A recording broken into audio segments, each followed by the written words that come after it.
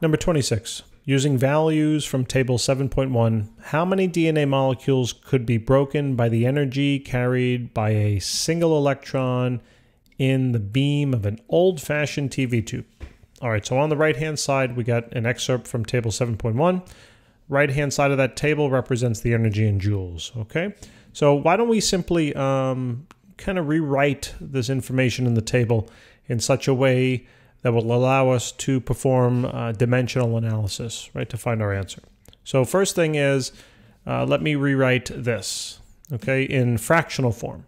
So this is basically saying um, 4.0 times 10 to the minus times 10 to the minus 15 joules per single electron, right, per one electron, all right? And uh, this value here, right, would represent now um, 10 raised to the negative 19 joules per single DNA strand, right? Per one DNA, all right, strand, whatever.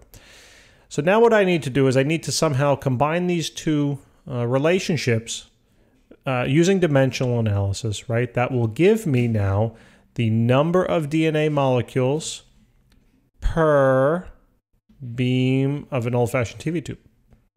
All right. So I want, again, I want to end with the unit DNA, right? Number of DNA per um, uh, per single electron, right?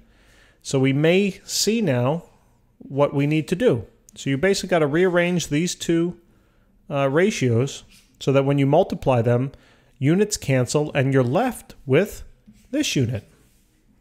So why don't we start with, notice I need DNA in the numerator, and here's DNA, right, in that uh, fraction, but it's in the denominator, so simply just flip it.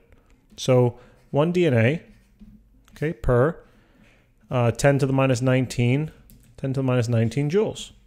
And now let me write this, uh, let me uh, take that uh, ratio and simply just plug it on in as I see it uh, because I realize, right, 4.0 times 10 to the minus 15 joules. Notice the joules will cancel. Look at that. There they go. And the one electron is in the denominator. And now notice I have the unit DNA in the numerator here. And then I have electron in the denominator. So guess what? When I perform this operation now, I'll get my answer. So basically it's 4.0 times 10 to the minus 15 divided by 10 to the minus 19. All right, and let's plug that in. So 4 times 10 to the minus 15 divided by 10 raised to the minus 19. And we get a value of 40,000. All right, so 40,000, I will, um, I'll, I'll, do it in scientific notation. So 4.0 uh, times 10 raised to the fourth. Okay, times 10 raised to the fourth. And that is in number of DNA molecules per single electron from the a TV tube. Sorry.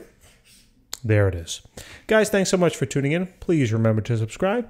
I look forward to helping you out with the next question. Take care.